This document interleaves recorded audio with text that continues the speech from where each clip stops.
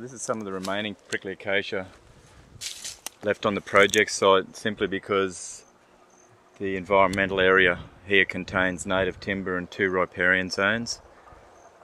Um, this, this, these areas will be teased out later with a smaller machine and some uh, spray and also some spot spraying.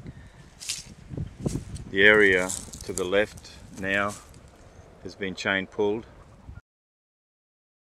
We've got the the site um, managing prickly acacia at Inkerman Station. What you see in the in the um, backdrop there, the dark green uh, um, vegetation on the left of the screen will be uh, Glen Yarra Station, um, the boundary neighbour, and then as you move across you, in the foreground you'll see previously cleared prickly acacia um, pasture with the windrows just burnt um, the, the grey ash, and then behind that with the lemon lemon looking grass in the foreground, and then behind that the brown area is the project site.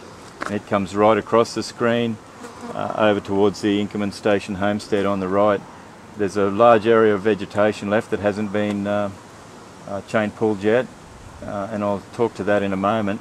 But just back to the the area in the in the immediate front of the, of the um, screen, You'll see uh, a, there is a dozer down there working a D9 with a large stick rake.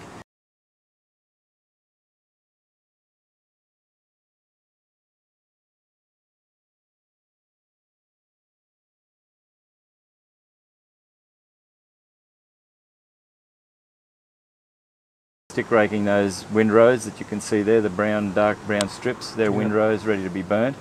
And within a couple of days, we'll move across the road and start um, stick raking the, um, the right hand side of the road and then the final uh, work needs to be done in the environmental or vegetated area where there are two streams that we have to very carefully uh, pick the acacia and China apple and rubber vine out of and then we'll be left the task of a large area of prickly acacia within that vegetated area to, to ensure that no um, reinfestation occurs from seeds coming out of that particular area.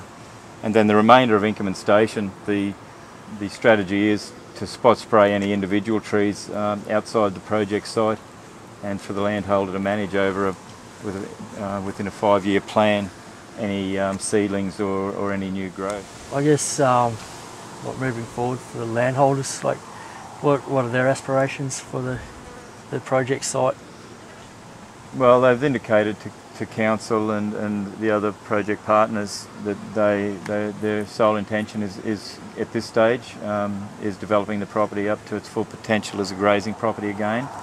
Um, you'll see that just under their own um, funding they've cleared the, the section to the back of the project site was a large area of, of China apple and you can still see remaining China apple behind the fawn coloured area. I, would estimate that to be around about 150 to 200 hectares that they've just um, that they've just cleared and are still stick raking and, uh, and burning themselves of China apple outside of the project site. The project site is completely fenced and that happened over a decade ago with, local, with our local government uh, pest management plan.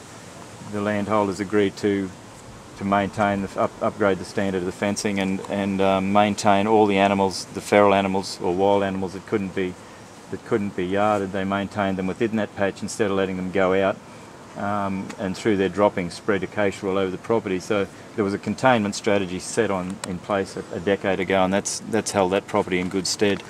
Whereas uh, to the left of the screen here, you can see that without containment and control, a, quite a larger area of acacia still still exists. So I'm, I'm very pleased that the new owners have taken it upon themselves to to, to move out into that. It's a class two declared plant as well, but it's not as invasive as acacia.